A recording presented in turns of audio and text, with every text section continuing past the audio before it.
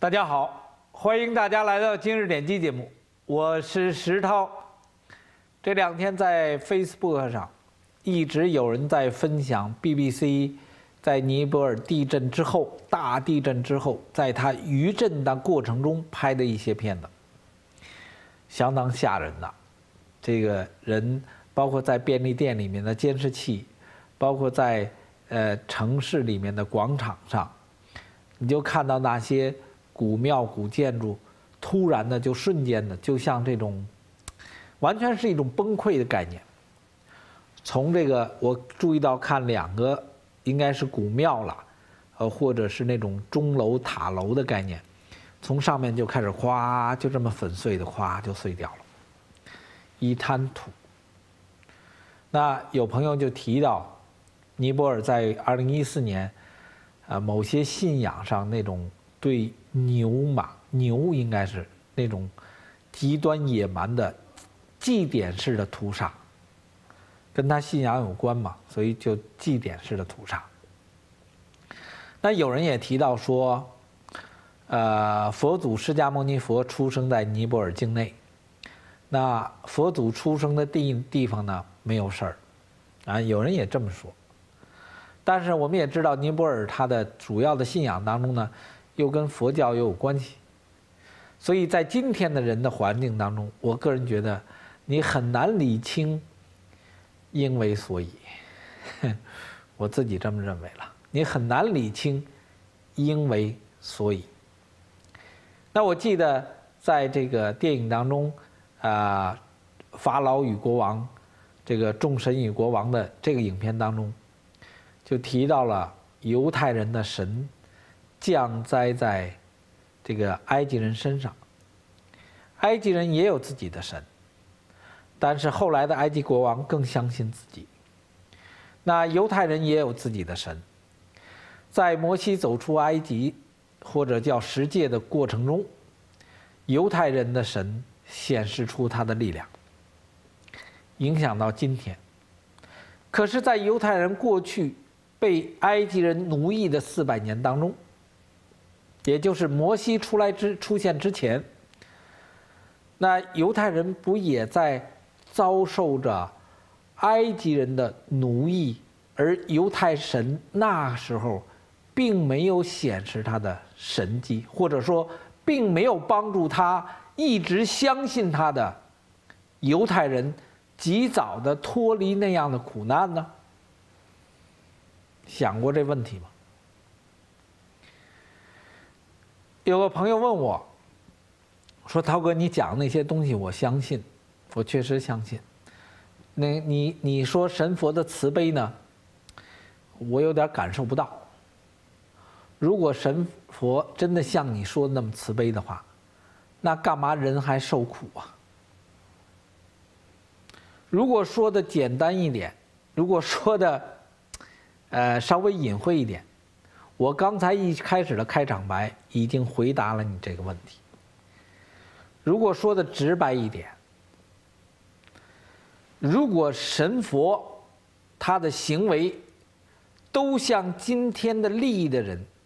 就像刚才这个朋友提出这个问题本身的角度，站在人自己的角度，站在自己人自己怕吃苦的角度，怕受罪的角度，怕遭难的角度，想到的神佛是给人生活创造福祉、创造财富、创造幸福、创造一切你想要的话，那你根本哪儿都不想去，你只想在这儿做人了。还上什么天堂啊？你比天堂强多了，还涅槃什么彼岸呢？我就在这头待着吧，我还过什么河呀？这是一个对问题的看法的立足点的问题。神佛的慈悲，是起悟人的灵魂对生命的认知，这生命中。包括我们这块肉身，父母所带来的肉身的这一层面，但它这是一层面，是我们生命的一个层面，而我们的生命可能有着无尽的层面，包括我们的灵魂。一个只站在自己肉身的角度去揣摩神佛的慈悲，你自然就提出那样的问题。一个今天众多的人站在人的肉身的角度进入教堂、进入庙宇、进入道观，去祈求神明降福于他。这可能就是西方社会讲的大审判将要来临的标志，也是佛家里说的末法末劫的标志，因为太多的人已经失去了灵魂自身的尊严，站在人的利益的角度和欲望的角度去面对神佛时，就是对他们的侮辱。哎，这个说明白，个人的有限认识。个人的有限认识，只代表我个人的看法，所以那而这山外山天外天人外人有着更高的看法，就在背后。所以我自己只是跟大家分享我有限的认识，不是尊重谁，不是不尊重谁，是说不同的看法和观点。为什么呢？比如下面一个消息，这样的消息登出来。有很多人就愿意看，里面牵扯到美女，反正现在是个女的都叫美女。中纪委网站提到了美女副主席，叫做刘英霞。零八年，三十六岁的刘英霞获得了全国工商联副主席。那现在的工商联组织表示，当时在工商联执委会中。刘英霞得到的赞成票超过了实到人数的半数，因此被选为副主席，但是违反了有关候选人得票，呃得赞成票超过应到人数半数为当选的规定，违反了规定，但人家做成了，那是人姐们儿的本事。你今天觉得有问题，你今天拿出来了，但当时你们这些人为什么不敢说半个不字？那是人家姐们儿的本事。所以人毁了就全毁了，这就是这个共产党的体制嘞，对不对？